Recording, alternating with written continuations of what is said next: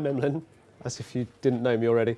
Um, this is me. So my background academically is in pharmacology. Uh, my bachelor's was pharmacology and genomics, and I did my PhD in pharmacology, um, of which I've mostly been involved in uh, preclinical and clinical validation of drugs. So that involves um, cells, animals, and humans, um, and I've worked with them all. Um, and the talk that I'm giving today is about analysing the electrocardiogram. So back a few years ago, I worked for a biotech called Verona Pharma PLC, and as part of their normal uh, clinical validation, or any normal clinical, clinical validation, you have to do cardiotoxicological studies to check that uh, the, the effect of the drug doesn't cause adverse effects on the autonomic nervous system, of which we use the, the ECG as kind of a reference point for that. Um, the ECG is a, is a famous waveform. If you ever see a medical company and they're using on their logo, they probably use the ECG. Um, it's a really nice signal. If you're looking to dip your toes in this and haven't done anything uh, with physiological data before, the ECG offers a lot for you. So we refer to the bits of the ECG with these markers. Um, PQRST, right? And the reason it's named like that is because it's, it's just calculus, right? They've started at P and they've gone along and said peak here, peak there, peak there, peak this. Um, what it relates to physiologically is um, well, three, four events uh, inside the heart. So that little P wave are the two little chambers of your heart, your atrias, contracting and pushing the blood from the smaller part into your ventricles. The big one in the middle is your ventricles. They're the larger, two large chambers of your heart, which eject the heart around your body uh, and create the circulation system. And the T wave, which is all important, is a repolarization step that occurs. So the electrical uh, signal, the action potential that is generated in your heart, is created by the simultaneous opening of ion channels uh, there.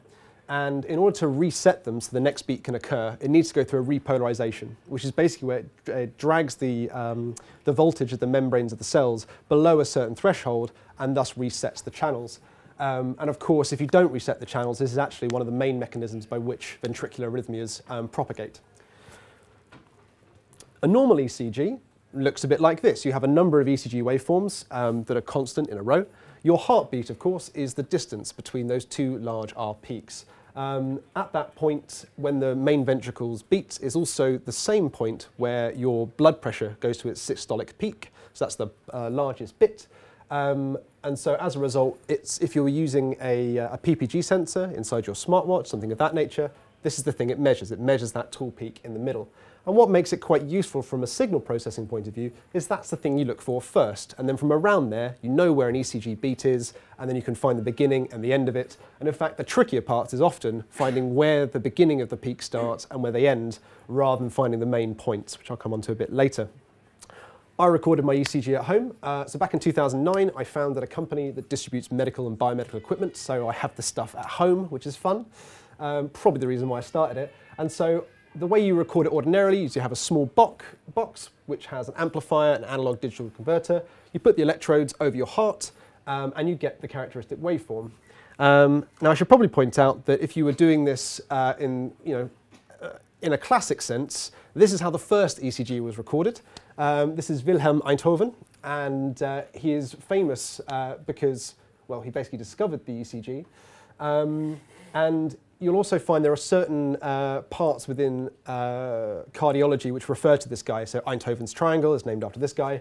And of course, instead of having electrodes stuck over his heart, he's put his hands into buckets of salty water, which act as his electrodes, and then his foot, which is for his ground. Um, and then all the signals get processed and thrown onto a carbon drum. So it is, um, it's old school. So if you, if you want to find yourself a nice steampunk project for the weekend, you can do it like Einthoven did. The placement of electrodes uh, gives you the characteristic shape, and the ones that I record today are at V2. Uh, lead 2 tends to give you the characteristic shape, um, and it's referred to, uh, if you were Googling for it, as a three-lead ECG, uh, as opposed to a 12-lead ECG, um, where you put 12 leads all around the heart, and you use that as a way of getting different planes of the electrical signal at the time that it beats, and that can give you better um, capacity to make certain uh, clinical diagnoses. So the libraries I'm going to use, today it's really going to be a showcase about the core libraries you can use in Python to do this kind of work. Um, in the pharmaceutical and research space, MATLAB is still very, very popular, um, and I'm here to basically say that you don't really need to um, because you have everything you need out of the box, um, of which I point out a few of the things which are replacements for things you might use inside of MATLAB, uh, which you can use here, which I think work very well. In fact, peakutils, which I use for some of the uh, peak uh, finding uh, bits, is almost directly copied from the signal processing toolbox inside of MATLAB, uh, so that works out quite well. Um, grand. So I'm a big fan of loading my data out of HDF5. Uh, if you are going to choose a binary format to store your physiological data in, I can't recommend it enough. It has a bunch of decent uh, compression trunking algorithms, as well as having some decent interfaces for reading the files directly into a NumPy array. One of the reasons why NumPy arrays are so fast is it adopts a contiguous block of memory, and especially when doing ECG analysis, a lot of it is doing slices and views over your raw data set. So of course, if you have something that's in a contiguous block of memory and you just move the pointer around, it works a lot faster. Um, so this sets you up uh, just fine. Uh, this is all live code, so here we go. So there we go, loaded. And then I've ran this before, there we go. So here's my uh, ECG that I recorded at home. Um, if you use the Matplotlib notebook uh, magic method, you can also get all the tools that you used to get on the desktop inside the browser. So there we go, you can see this classic ECG peak. And really what I'm trying to show you at this point is that, of course, when you record it in real life, it doesn't look anything like the diagram you saw earlier. And that's where we're going on to next, filtering and preparing the signal to actually do some analysis on it. So the reason we have to process it is there are lots of other electrical noises uh, which are going to be um, recorded at the same time as your ECG. Your ECG is a signal from about one millivolt uh, down to about mm, half a millivolt, um, of which your muscles are generating millivolts around you. Uh, you'll be picking up all sorts of information um, from uh, inducted noise. You get a baseline shift because of respiration. Uh, so whenever you breathe, uh, your chest inflates, it compresses your heart slightly. Uh, that affects some of the vasculature around your heart, which then has an effect on the ECG, which is what's quite fun is that you can record uh, respiratory measures from your ECG, um, which people have used before, which is quite nice. So if you're using a chest belt to do res respiration, just take an ECG, that'll give you both. Um, yeah, so the next thing we go on to is detrending and filtering the signal. So the first thing I've done here is detrending and filtering with a Butterworth filter. And the reason I do this is this is basically the kind of the mainstay way of doing it medically, even though it's not the best way of doing it. So to point this out, what we're doing is that we are applying a bandpass filter over our signal because we're not going we don't need all the frequencies uh, that we've recorded. Um, for an ECG, you maybe want to go from zero to about 100 hertz. That covers pretty much everything you'd want to see. Um, after you've filtered your signal, it is likely that you might want to see it smoothed because um, if you're going to be looking as we are today at where the peaks occur, then by smoothing the signal, it gives a much sharper um, definition of where the peak is. Um, again, this is basically the kind of way that you would do it um, medically. It's not the best way, and I'm going to go on to talk more about that. But effectively what we've got here is we've got the signal. The one at the top is my raw signal. The one in the middle is one after I applied my filtering. And you can see it's taken out some of the high frequency components we don't need. And then the smoothing uh, gets a little bit closer to that. Um, now, of course, in the situation where you can't really now see all the different peaks and parts, part of this is an issue with recording the ECG in the first place. You'd like to think your heart is sitting there nice and static, but actually it's a small amount of room for it to rotate slightly. So one of the issues that can occur is you've got one electrode, if you're doing a 3D ECG, and it's moved slightly out of orientation to pick up one of the peaks you might be looking at. So if you're looking at, for instance, wanting to measure the width of the QRS complex, fairly important if you're looking at myocardial infarction, things of that nature, um, then you're going to want to make sure you have multiple leads, which is why clinically there are multiple leads. It's so we can get, uh, th so this event of the, of the heart rotating slightly doesn't cause us so much of an issue. Wavelets is basically what I'm coming on to now. So Butterworth filters is where um, you'll have stuff if you have a medical device, but primary research has basically already found that wavelets are, are fantastic for both filtering and detrending the signal, but also for doing identifying peaks within that signal. Um, how many people here are familiar with wavelets and wavelet transformations? Cool, good. Then I was pleased that I chose to then explain what wavelets were. So um, you can take, here what I've done is I've taken a single slice of the ECG. So I've taken, I've already found out where an ECG beat was, sliced that value, and then the next thing that I've done is a wavelet decomposition.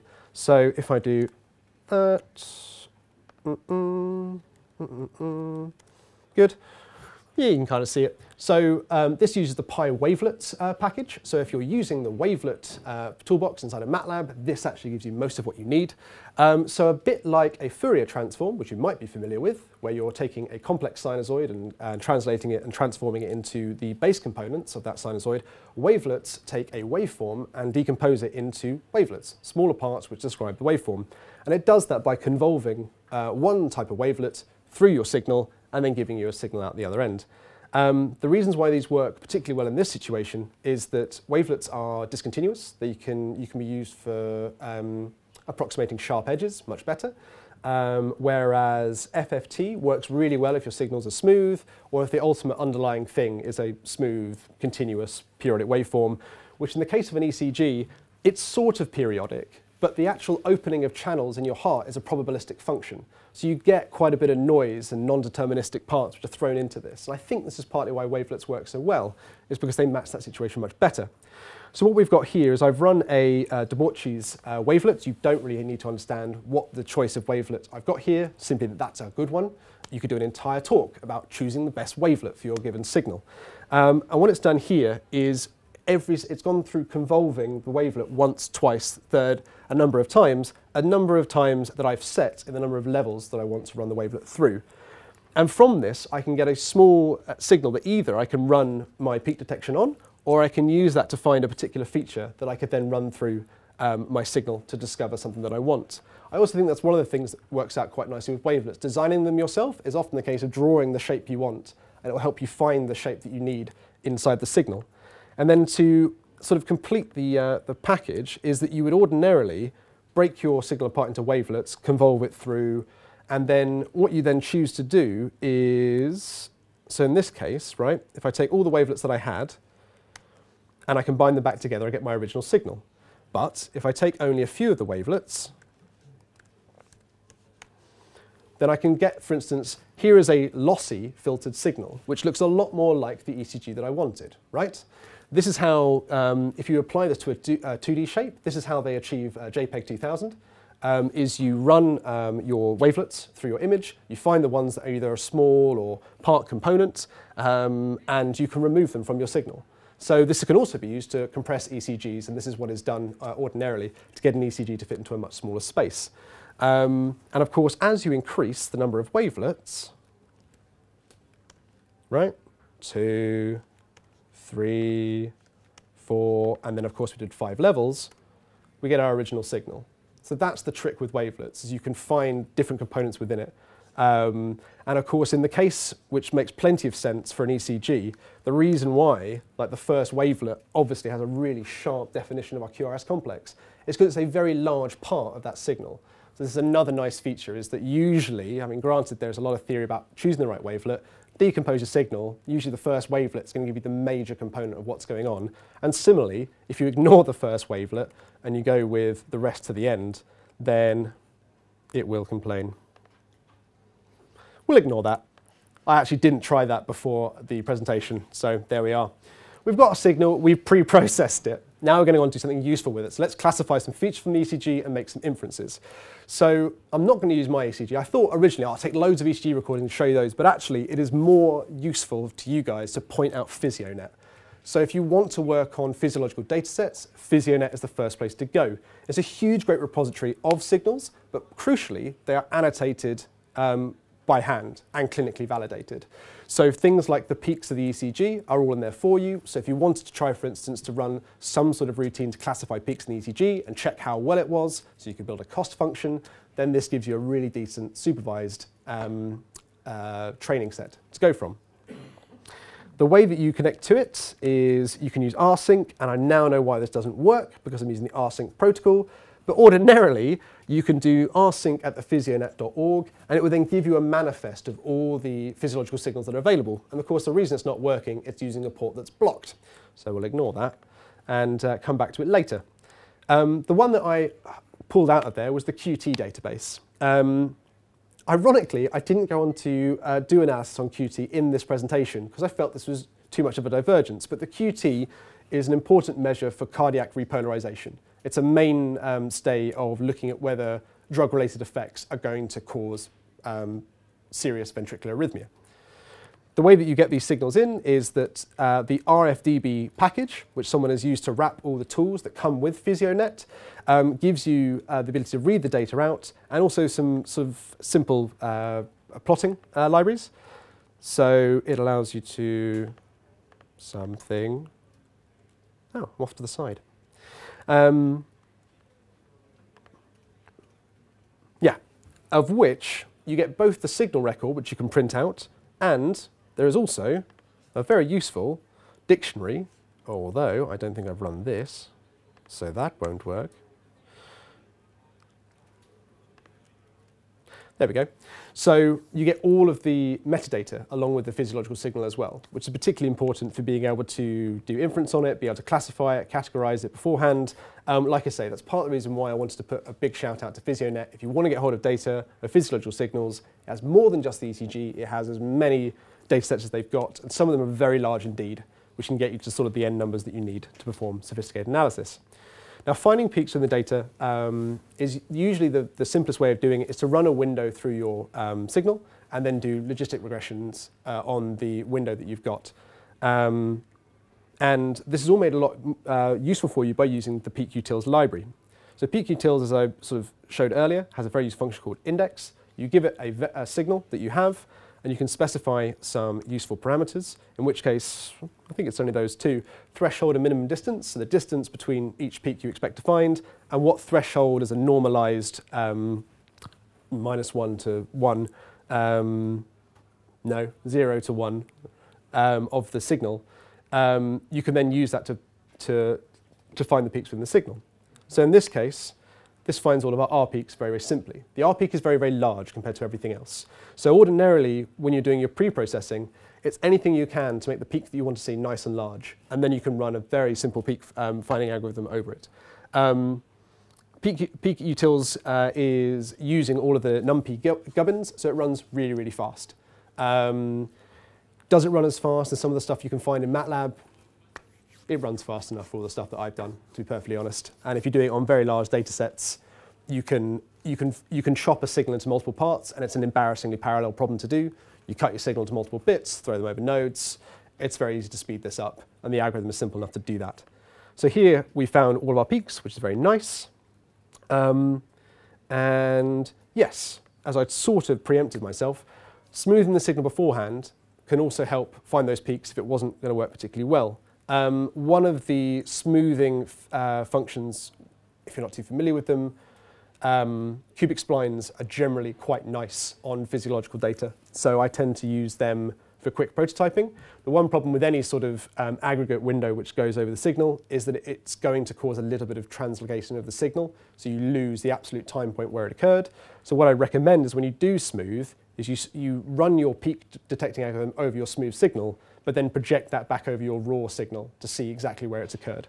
So in the same way, we can run that and we get the same thing. Now granted, I should have chosen a better data set that was noisier, where one of them didn't occur, and then the other one that did occur, but that's effectively how you improve, that's a, uh, the chief way of improving your peak detection algorithms is by appropriate smoothing. Now, there is a function inside of uh, the signal package, inside of SciPy, which does a lot of this for you. It's called find peaks CWT of which the CWT bit refers to convolutional wavelet, sorry, continuous wavelet transform. It does convolution in a continuous way. So the reason why I recommend peakutils is it has some uh, easier to understand parameters in terms of thresholds and distance and the rest of it, which CWT doesn't do. Um, wavelet transforms are all about trying to find a particular ridge and edge which matches against the wavelet that you've got. So you've then got to do further details to um, piece out, okay, I've got lots of peaks, now I want to separate out um, all the ones that I have. So of course, in our signal that we have here where I run this, um, the CWT algorithm, because I, haven't, I can't specify the threshold and the rest of it, has found all sort of the important peaks within my data. One thing it doesn't show you, I realize, because it's not in the default parameters, it's using the Ricker wavelet in order to smooth that. Um, Ricker seems to work well for lots of different problems, and this is a fun thing about wavelets. It's the same wavelet that works in like compressing images is the same wavelet that works quite nicely in an ECG signal.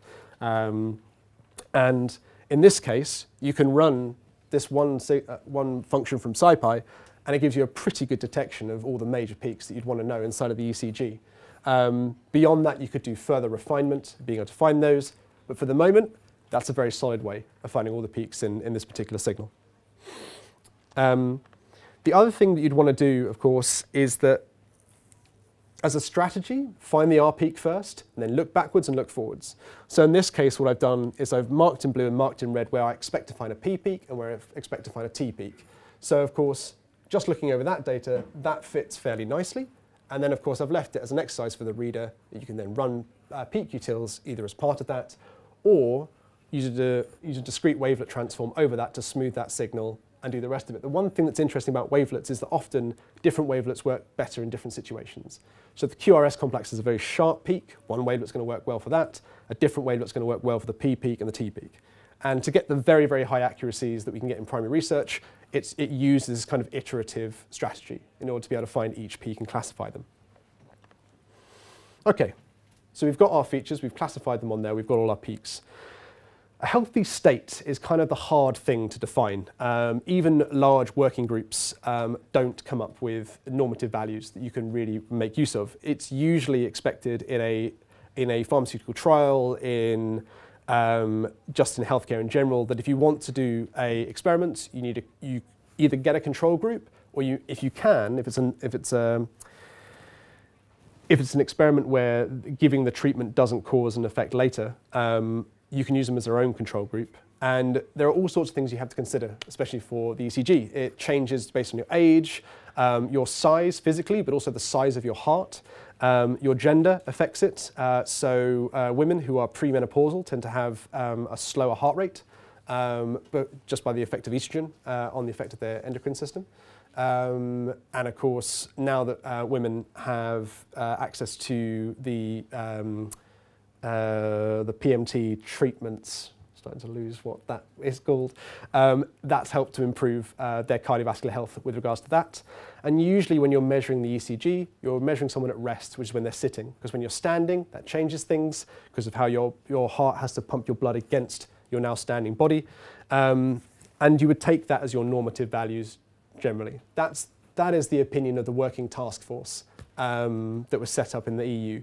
Um, but if you're looking for normative values, you can find them very easily by Googling them. And of course, for a human heart, you're looking at somewhere in the region of 60 to 80 beats, um, of, of which a max of, say, 200 is pretty darn high.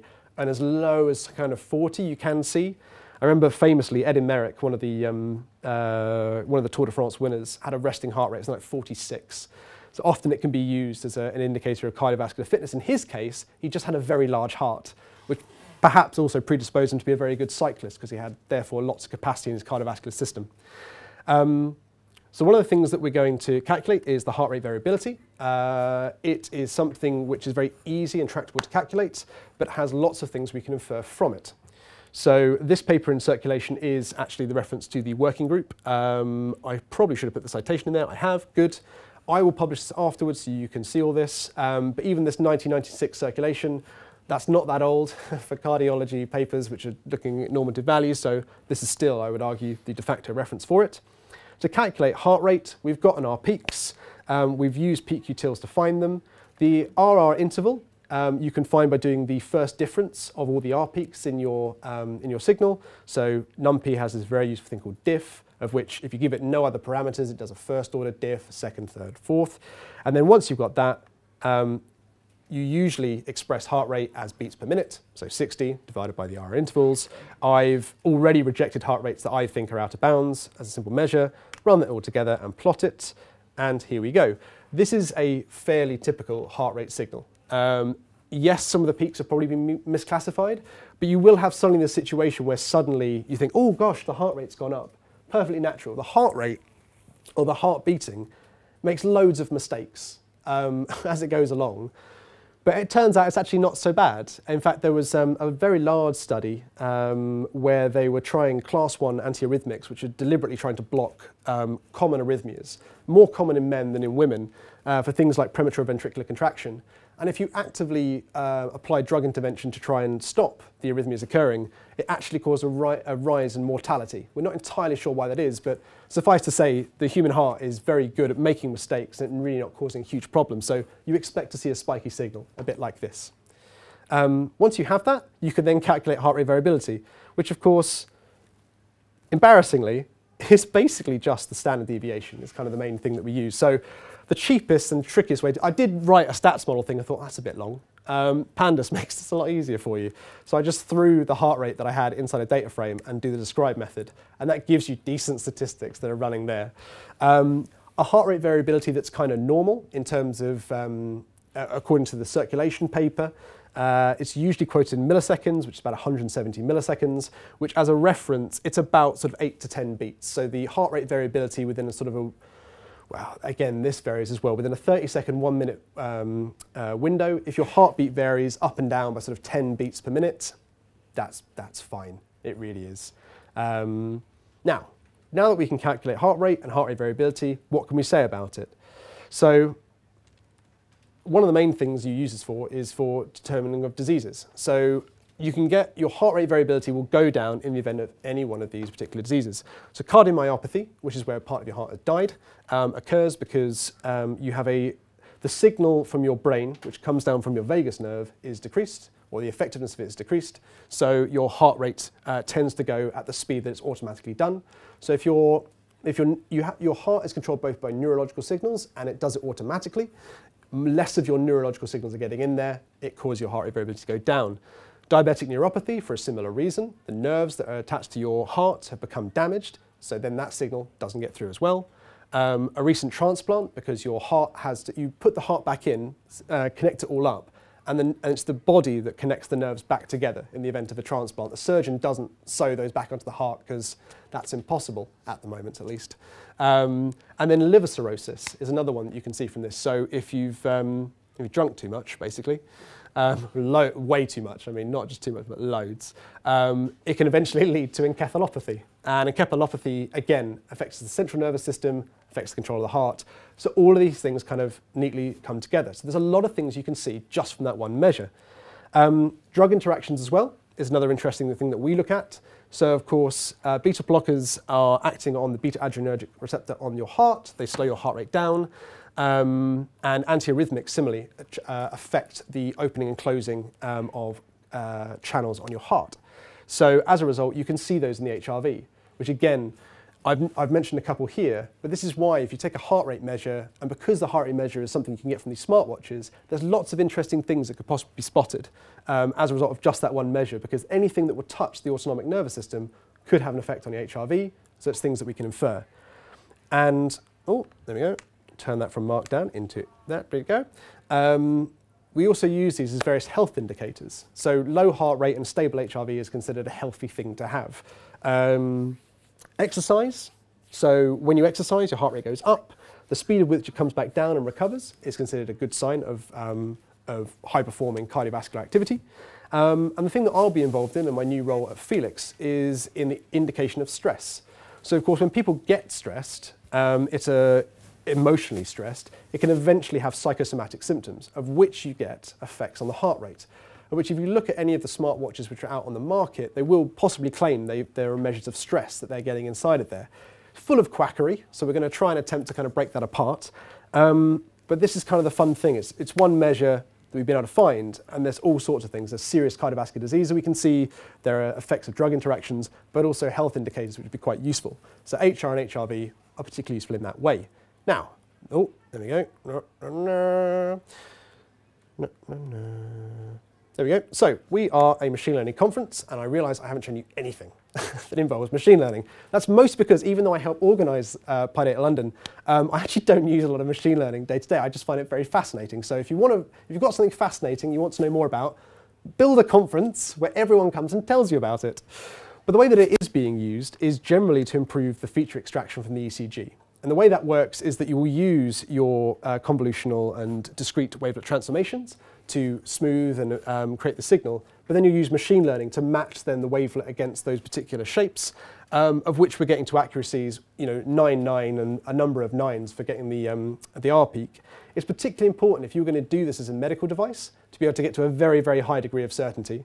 Um, unfortunately, medicine generally abhors uh, probabilities um, if, it, if it can help it. Uh, so having more and more certainty is roughly what you need to even get in sort of the door. So um, it's, it's nice to see that these techniques are coming. I don't know of any commercial system in the hospital that would use any of this stuff because it's just, it takes so long to get in there. You have to do a clinical trial to prove that your thing is better, um, and it costs a lot of money. Um, but what I found more fascinating is that someone applied a uh, long-term, short-term memory model uh, to health records in the US. And they were able, in a number of cases, to predict the disease the patient had from the notes that were taken by the doctors, which is fascinating. I mean, we're not at the point where the machine will do it for us, but if it can at least help with the judgment of diagnosis, um, LSTM in many ways fits the kind of mental model a doctor does to infer what a disease is. He has to take information that occurred recently, information that occurred a while ago, and apply weights as to what one's more important. So I thoroughly recommend this particular um, article. It's open uh, access, which is fantastic. It's up on Arxiv. Um, and if someone afterwards can come and explain LSTM to me, I did have an exciting LSTM chunk, which I nicked off someone on GitHub, which I thought, oh, I'll make my presentation around this. I still don't understand what's going on. So that's why I need someone to come help me. It uses Keras, that's popular, right? So uh, yeah. If you want to get really at the edge of working in cardiology, the Computing in Cardiology conference is fantastic. They put on um, uh, challenges every single year. Uh, they've had things like detecting um, uh, sudden cardiac death syndrome, which we now know has a much um, uh, uh, tighter um, uh, correlation to HRV. Um, and yeah, if, if you want to get in with these people, it's a lot of MATLAB. Um, but I imagine over time this will change. Um, but uh, yeah, so that's where I recommend you would go if you're more interested. It has the hardest problems, they post them up as problems. It's a fun place to be. Um, that's all I've got time for. So if you have any questions, I'd love to take them.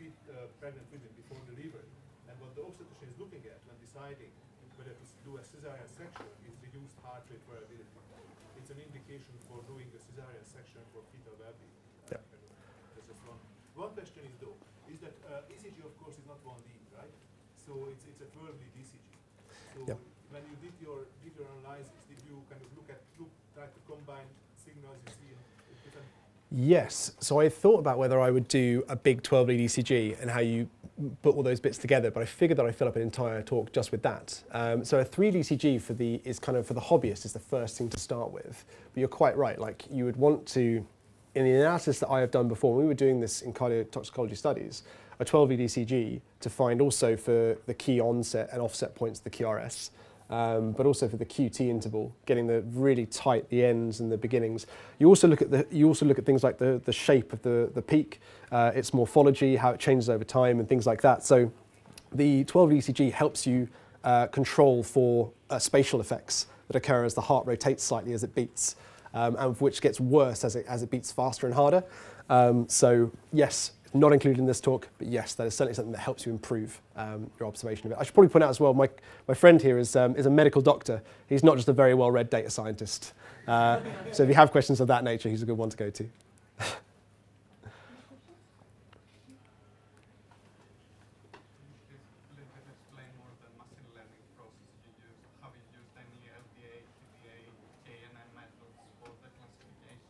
Sure. So um, for the, for the pre-processing that I have done in this presentation, no. One of the funny things as well is LDA, uh, to me, means linear discriminant analysis because of signal processing. And I know it means something like latent something else in, it, you, you do mean linear discriminant analysis. Uh, yeah, it works really nicely because, of course, yeah, you look at the particular onset and then you can use that to then find the peak, train that over a series of ECG waveforms, cut them into epochs and use those. Yeah, it works very nicely. Um, Yeah, um, I figured that that would be something you could then follow on to, but you'd usually then uh, create a talk that was just focused on the various methods you can use to improve peak detection within a signal. Um, but yes, LDAs work very nicely. Uh, KNNs work more useful with the features you classify afterwards uh, because the uh, ECG has both temporal and frequency effects, so it's nicer to analyze in that domain, whereas KNN generally, you know, spatial effects between uh, various categories. Uh, all of those techniques work well. Um, and often the sad thing is, is that, so I, my background's in pharmacology, and you, you generally don't get taught this. Ordinarily, you have to go find this yourself. So um, eventually this will come through, and you know the products that um, my friend mentioned um, are coming through basically on this nature as well. So yeah, there's lots of traction methods to use here. It's just a time series at the end of the day.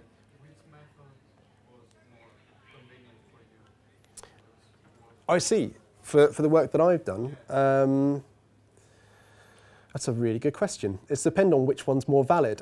Ironically, it wasn't ever asked of me in a professional setting. It was kind of find the peaks uh, and get the basic statistics, and that's enough. One of the things you have to understand in pharmaceuticals, you don't really want to go any further because you might find something which you don't want to know.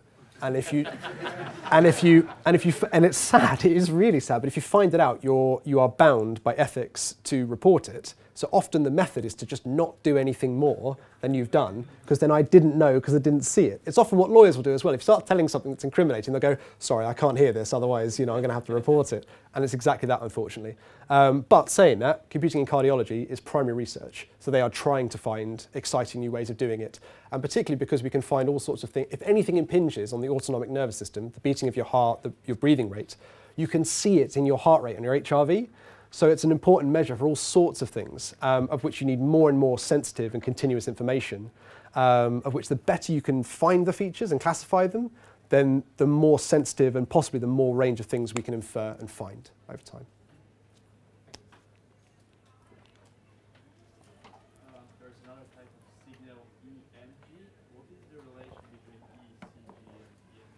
EMG, right. So um, EMG stands for electromyograph or myo, um, myocardiogram.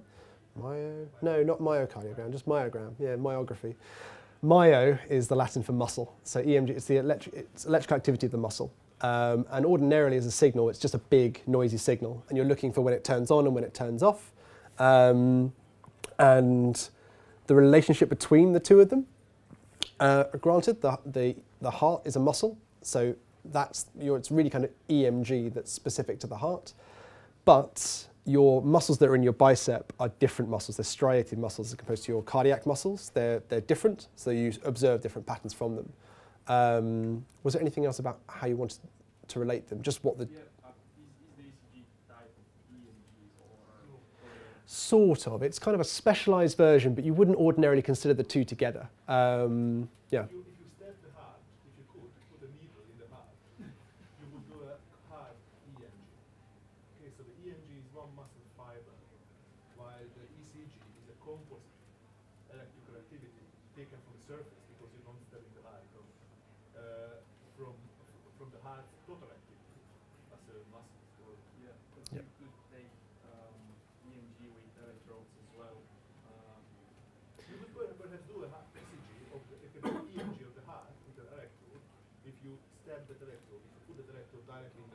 Mm. And sometimes they do it during open heart surgery when they're trying to kind of tease out what muscle of fiber or what part of the heart is doing what.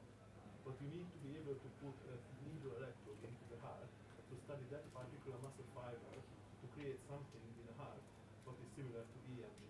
Yeah. Because EMG you can just um, HRV is obviously the distance between the peaks, but what about the other peaks? Is there any Sure.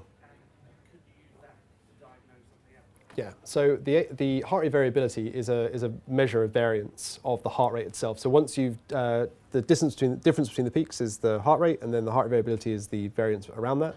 Um, yes, so uh, for instance, the QT peak, the, how much that varies is a sign of, um, of instability um, as is, uh, I forget the guy's name, but it's a triad method. So it's, you look for the triangulation of the, of the, the T-peak, you look at the repolarization effects, which you have to look at another signal, and then of course um, it's the instability of how that moves.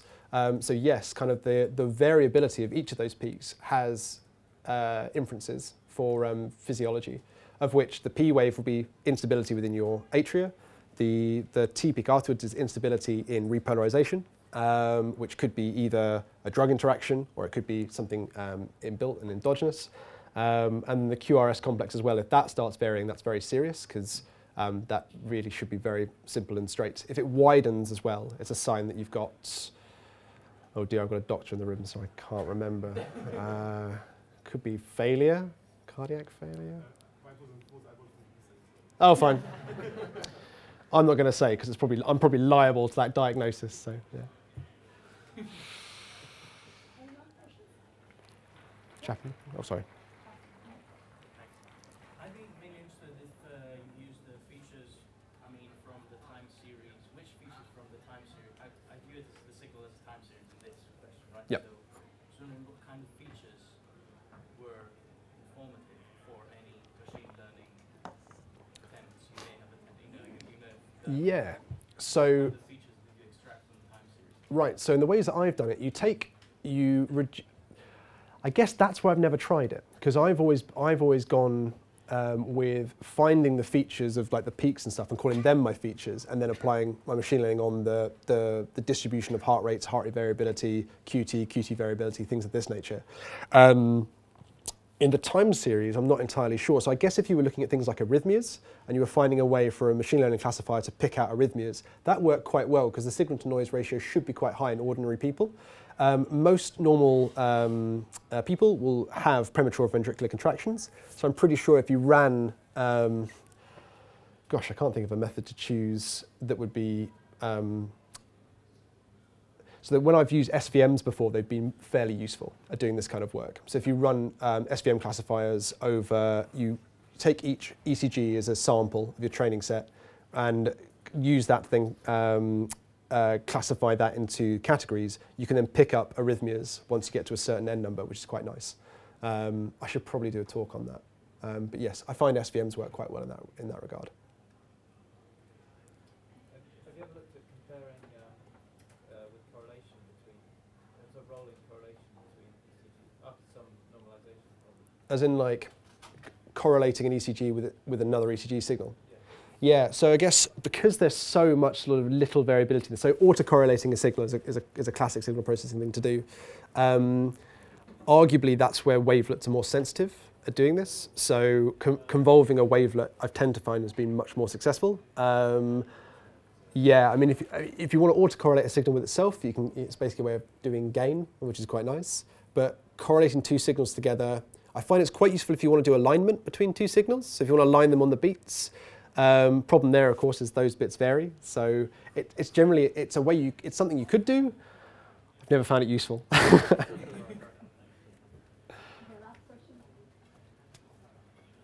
yeah, so clearly in this area there's a lot of domain expertise, like built over years and years, and yourself coming from pharmacology background, I guess you're quite used to using like physical models or models built on biological principles. Yep. And then this is kind of taking quite a data-driven approach.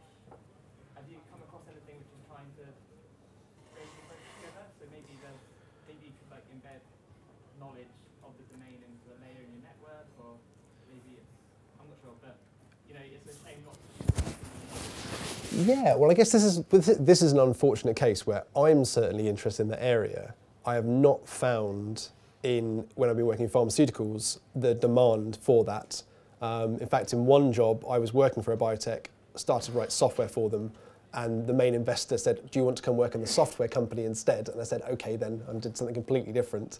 Um, Computing in cardiology arguably is doing this kind of stuff. So trying to take a more data-driven approach to um, analysis of physiological signals. Yes, there's a lot of domain expertise in the judgment, but that's true of any machine learning. So the thing you get out at the end of it, um, inferring whether that's real or true or whatever, uh, comes with the burden of knowledge of that domain. Um, and hopefully, I mean, the, the, the low-hanging fruit that's kind of already we're already getting is applying these machine learning things to, for instance, to do image analysis to find um, tumors. Like you can get the machine to say, I think this is a tumor. Doctor can come along and draw their eyes and go, oh yeah, that is a tumor. And it's this kind of thing. It's sort of judgment assisted uh, kind of computer learning.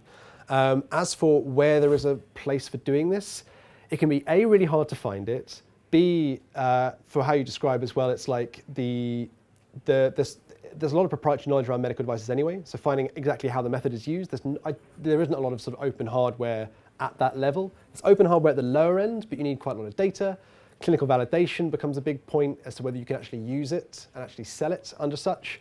Um, so there generally are lots of different groups, depends on which bit of physiology, because that's the other thing as well. I've done lots of stuff with cardiovascular stuff, but I don't know too much about, I don't know, endocrine pharmacology or neuropharmacology, things like that. There's lots of super specialties. Um, but um, yeah, cardiology is one of the ones that's more amenable to data analysis. There's a lot of people in there. Uh, arguably, uh, generally for any of the kind of electrophysiology, generally has a lot of data-driven approaches. So EEG, EMG, all the all the EEGs and ECGs and the rest of it, they tend to have groups that are built around those, of which I can point you to any one of those given ones, but there's lots of them. Cool. Thank you.